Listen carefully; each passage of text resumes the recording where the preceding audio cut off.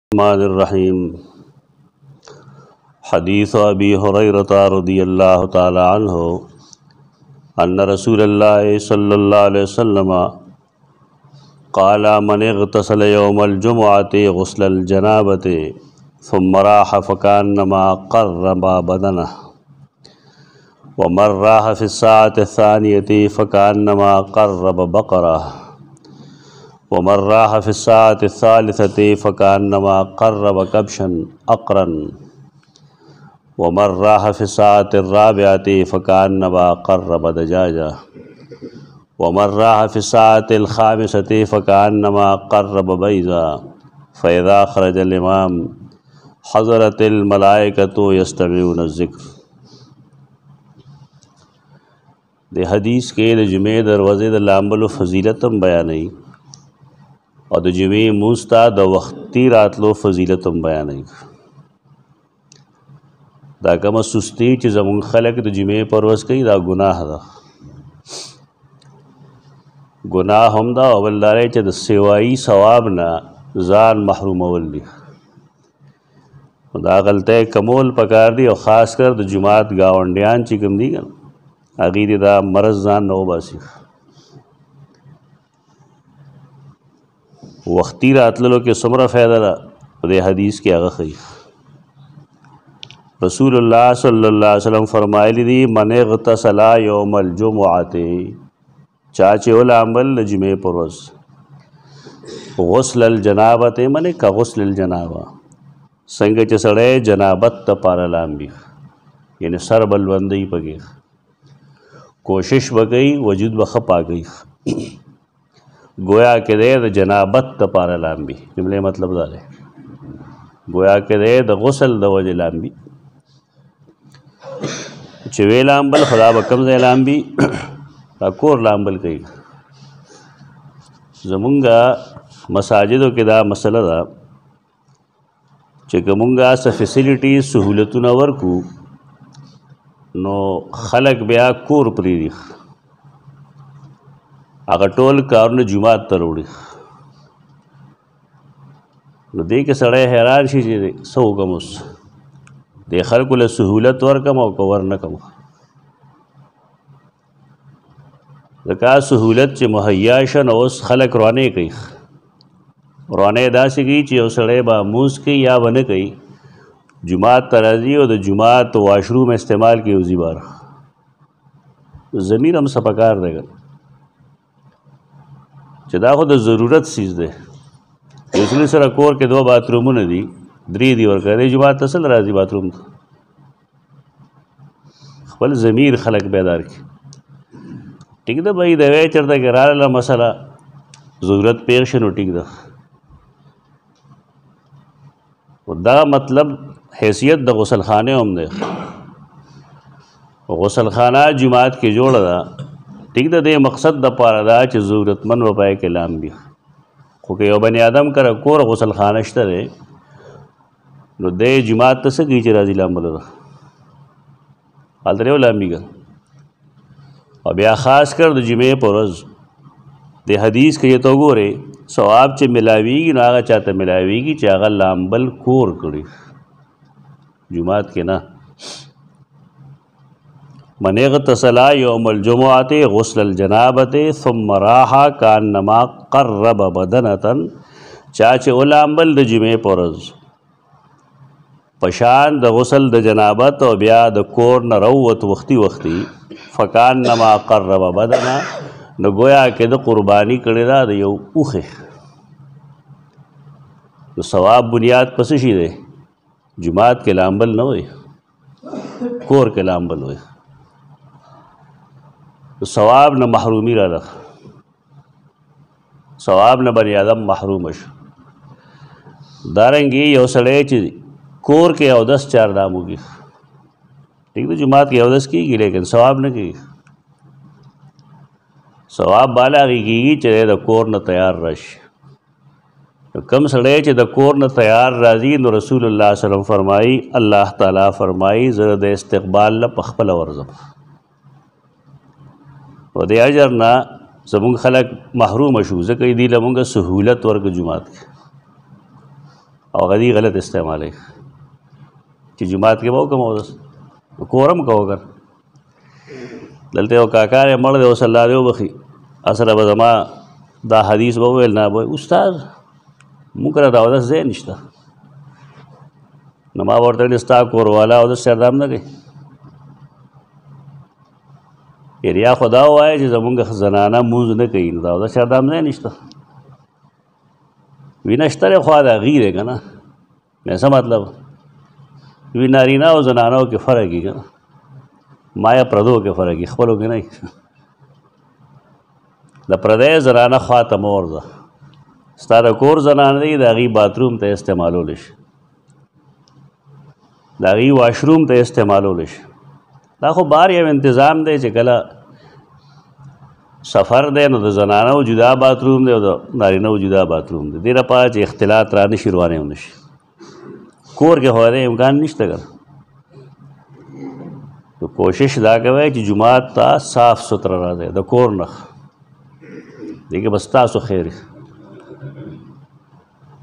مونږ ته دومره خیر ملو شي چې مونږه مسله بیان کړه خو بهتري په دې کې ده چې سړی د کور نه تیار راځي لامبلو ضرورتي او مې کور لامبلي او دس ضرورتي او مې کور او دس کړي واشروم ته تلو ضرورتي هغه هم کور ځان فارغ کړي فایده را پدې کې ثم راها نو بیا دی وختي وختي راغی فکان نما قرب بدنتن ګوره د قربانۍ لپاره زمونږ خلک څومره کوشش کوي میاش نیمه نه مخکې کوشش کوي پیسې جمع کوي ځان له مرګري ګوري برخه اخلي سم مرګري ګوري او داسې خلک می چې سره پیسې نه قرباني په لازمه نه خو بیا هم ویره کول پکار دي د چا خو نیت سمي نیت یې سم په دی چې په قربانۍ پروزو کې د ساروي د وینې د تویولو نه بهترین عبادت بل نشته نغی خو په دې بنیاد کې او ډېرې دې بنیاد باندې کې چې رب بچی مې نور خلکو ته ګوري خپکیږي نو دا خو نشو دا قرباني نه ده خو ګپ ده یعنی هر سړی کوشش کوي د قربانۍ کولو او دا مونږ ته په میاش کې د سلورو قربانو موقع ملاوي میاش کې سلور جمعې کا مفت کې ملاوي یعنی پیسې وته نه لګي هلته کې وته شپېته زره اتیا زره روپۍ لګي نو تا ته د قربانۍ یو حصه ملو شي دلته کې ستا پیسې نه لګي لږ غوندې وختي به راځې تکلیف وکړه بس کورلام به او وختي وختي مسجد ته راشه جماعت کې موږ دا حدیث ویل دی خپلو درسونو کې زمونږ د بار مرګري د باغ نه مخکې راځي د جمعې پر ورځ او د کلي خلک چې کوم دی نو هغه هغه وخت راځي چې کله زه ودرېږم د دویم باغ نه وروسته راځي فرق یې که نه فرق یې د بار خلک خبره ښه مني د کلي خلک خبره نه مني پته نه لګي دیږي بس چلی او په خانه شروع ده دا اوس نه نه ده پر رسول الله صلی الله علیه وسلم ایمان وروړون کې د کلی خلک نه و هغه نه هغه هجرت کړو دا سب مزاج دی د قوم بس ښه دا ده چې مونږ د کلي د سړي حیثیت تسلیم کو د هغه پوه ومنو د هغه دعوت ومنو دې کې به فایده زیاته وي ځکه چې رسول الله صلی الله علیه وسلم سره کوم خلق خبره منلې ده او هجرت یې کړې نه ته مهاجرین اولین وي هغه ټول صحابه کرامو کې فرست ومنه حیثیت داغینه دا ناشکری نه پکار د کلی خلکو له پکاري چې هغه اول په سم خبره باندې امننا او صدقنا وای چې مونږ دا خپل عمل کراولو تا هو ویل ټولو دا کله چې مونږ خبرو کو چې عالمان داسې او داسې نو دی خیال لای چې دا هغه سړی دی چې په مسلو لړی عالم نه هغه سړی مراد دی چې هغه ته علم شته تاسو تم د 50 شپېتو خبرو علم به یې نو تاسو د هغې عالمان یې په هغې عمل کړی دی نه د کوم څیز چې تا ته پوه شته نو په هغې عمل وکړه تنقید چې مونږ کوو دغه شان خلکو وکړو ومر راه فی ساعت الثانیه دا لګ لګ ټیمونه غنټې نه زوال چې وشي زوال یعنې نور چې د تندي نه واوړي نن سبا تقریبا دغه پنځه منټه دولس په یا به دوه منټه دولس و دې لپاره هغه صحیح طریقې ته راهې چې ته پوه شي په خبره چې دا ګنټې منټې نه دي چې څنګه به زوال وشو او د هغې نه یو دوه درې لحظې وروسته به رسول الله صلی الله علیه وسلم مسجد ته تشریف راوړو په منبر به کېناست نو هلته به خطبه وویلی شو او رسول بانګ به وویلی شو نو رسول الله صلی الله علیه وسلم به پاسېدو دوه خطبې به یې وویلې لمونځ به یې کوو د هغې زمانه کې طریقه دغه وه د رسول الله صلی الله علیه وسلم د خبره باندې پوه شوې د پوهېدو کوشش وکړه دا ګنټې منټې نه دي څنګه چې زوال کېږي بس جومات ته ځان رارسوه وختي وختي او دا ساعت منټونه منټونه دي ګنټه مراد نه دی یو ساعت پس مونږ وایو یو ساعت پس راشه نو ساعت پس دا مطلب نه چې دوه ګنټې پس راشه نه لږ ساعت پس راشه مختصر نو بیا چې بانګ ویل شي کله نو بیا خبره ډېره بدله شو بانګ چې ویل شو دا زیات نه زیات پنځه شپږ منټه ته بار پاتې شو بیا مو پاتې کېږي بیا روزه دا غي فایده به دای چې کته په لومړی وخت کې رالی یعنی 2 3 منټه رستو رالی نو گویا کې تا ته د یوې قربانې اجر ملو شو او هغه هم د اوخه ته دی یو مطلب دا لکه گویا کې تا قرباني الله کړه نو د یوې قربانې چې سم راجر نو تا ته هغه هم راجر ملو شو او سم محدثین وایي چې دا هم ممکن ده چې اوخ څونکه ډیر دروند دي نو دا غي د وزن برابر تا ته الله اجر درکړي یعنی د اوخ د وزن برابر اب تلی نو دا غي برابر به تعالی اجر درکړي وختي راتلو کې ته دومره فائدہ ده کم سړی چې دا غې نه رستو ټایم کې راغې دوه څلور منټه رستو فکان نبا قرب بقرتن نو گویا کې هغه غوا قرباني کړه د غوا د قربانۍ په ذریعه ځان الله ته نږدې کړ او څوک چې د هغې نه رستو راغې فکان نما قرب کبشن اقرنا نو ګویا کې هغه یو ښکرور ګډ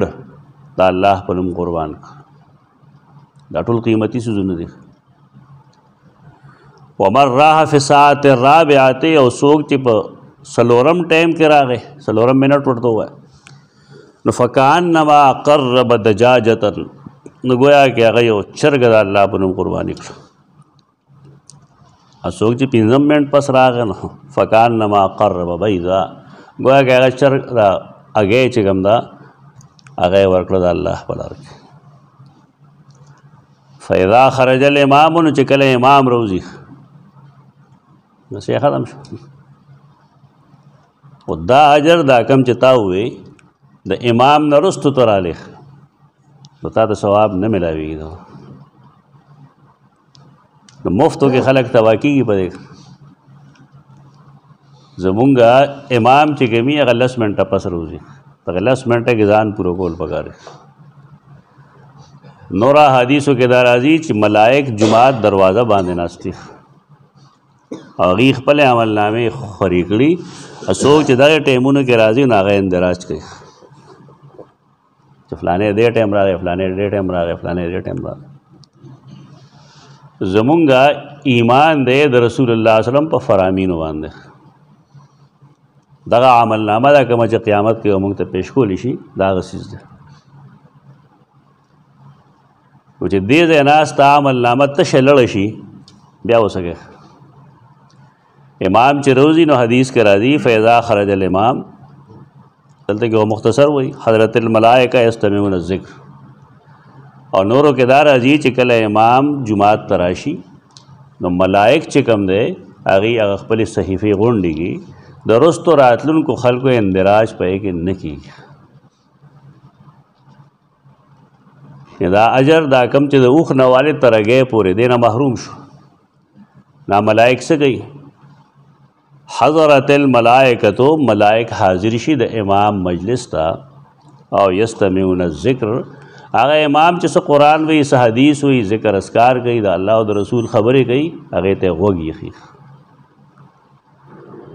یعنی ملائک کم چې د کار د پار راغلی د دین د جمعې د مون د خطبه د امام حیثیت غار سره معلوم شو چې د امام ذکر ته ملائک وګ دي اچې کوم خطبه وای نو ملائک هغه ته حاضر دي دا حدیث ده کیسه غونه ده او د امام حیثیت دیو پیژندو کته ورته وګ دی کیدا کنه کې د مګ ملائک دی وګ د امام اهمیت هم معلومیږي د خطبه د استماع د غوږ کې خودو اهمیت هم معلومیږي او دارنګې جمعې مانځه ته د راتللو وختي راتللو اهمیت هم معلومیږي خپل عمل نه دا کوتاهي لرې کړئ او مفتو کې او اجر دی الله ورکی انسان له وختي راځي د مردان نه یا د شهبازګۍ نه یو سړی را رسي دلته نو د کلي سړی ولې نه روزي نو دا زموږ خلک د ثواب اوږې نه دی څوک د ثواب اوږي او د قربانۍ ثواب هغه پېژني هغه دې ته نه ګوري زما کار خراب شي اذان رسي وختي وختي په دې کوشش کوي چې هغه حدیث کم چې تاسو اولولې چې په هغه عمل وکړئ اقول قولي هذا استغفر الله لكم ولسائر المسلمين